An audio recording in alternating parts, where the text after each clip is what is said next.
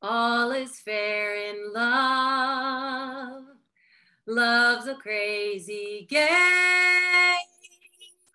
Two people bound to stay in love as one they say.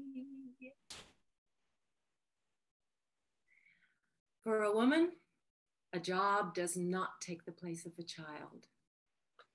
For a woman without a child, cleaning does not create the space to be absolved of emptiness. Someone is crying. My imagination is a swirl. I cannot find the delineation of my being. Skin is irrelevant. There is no heaviness in the bones to anchor, no rudder in the form of thoughts for a bearing.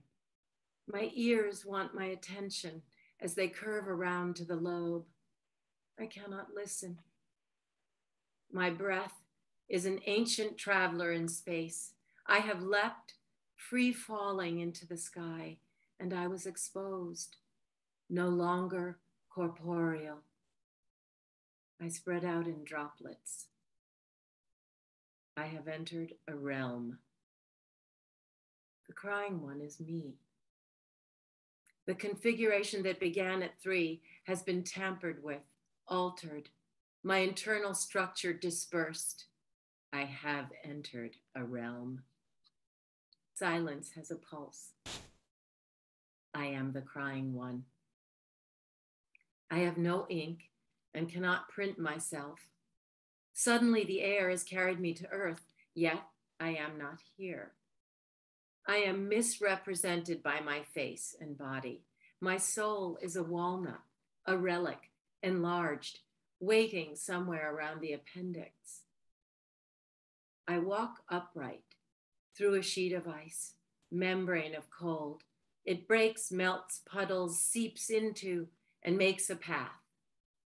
I hold a green fabric with hands metamorphosized into stones and cannot let go. The tyranny of obligation to conform, recognize my mission, yet I am no one. How could he? How could she? How could they do this to me? There is an order to justice. I am the only one who knows it. When someone you love gets sick, cruelty makes itself at home, whether the house is clean or not.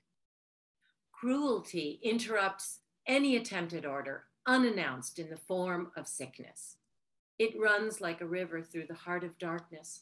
All you can do is clean around it. Sickness is cruelty. It steals the course of love. Egg tossing is not accidental. An acorn woodpecker will roll her egg to the edge of the nest by flicking it with its beak and toss it out, a strategy to keep the species going. Then there is brood parasitism, where a mother of one species will watch till the mother leaves and sneak her egg into its nest.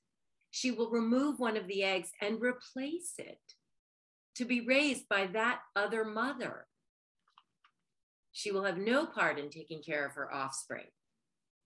One species, what is it?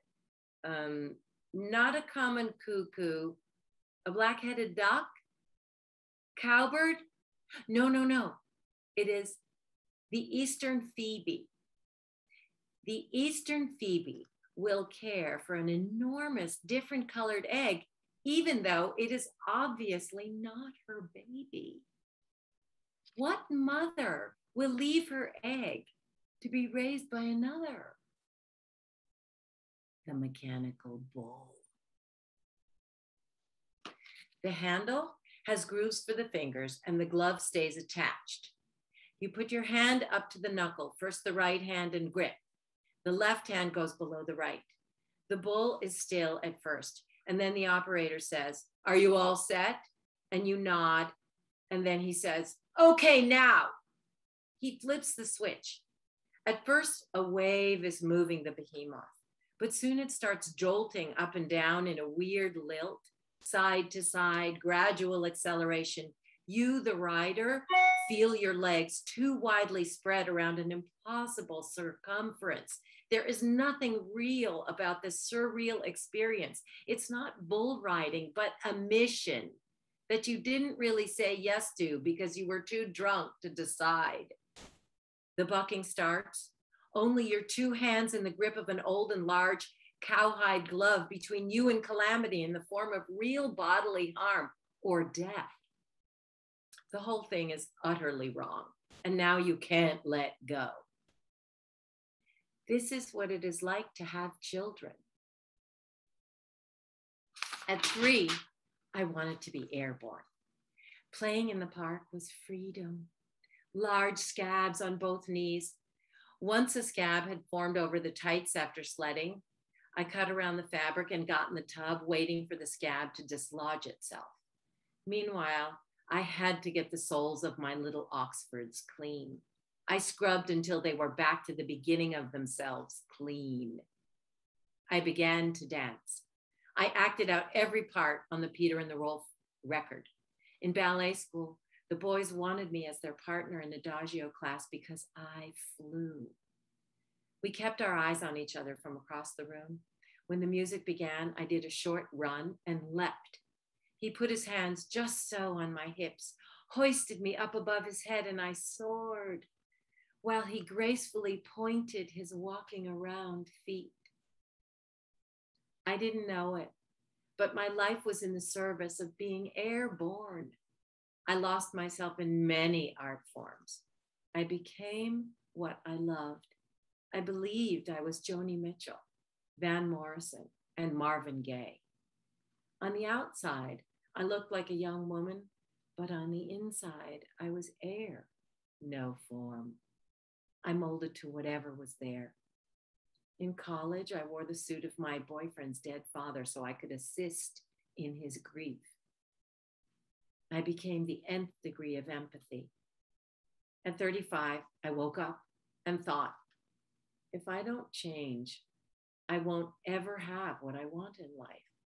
I was a feeler beyond all feelers. I watched my friends get married, have babies, do their lives. My career as an actress fit me, all the time flying during the work, then empty and waiting in a holding pattern until the next job. Reality was not airborne. I decided to try. I went to lectures on the Course in Miracles. I went to Al Anon, a tiny room in the back of a church. Three octogenarian women ate from their Tupperware while I complained. I knew I belonged to the air, but it wasn't holding me anymore. I had to find a way to stay on earth.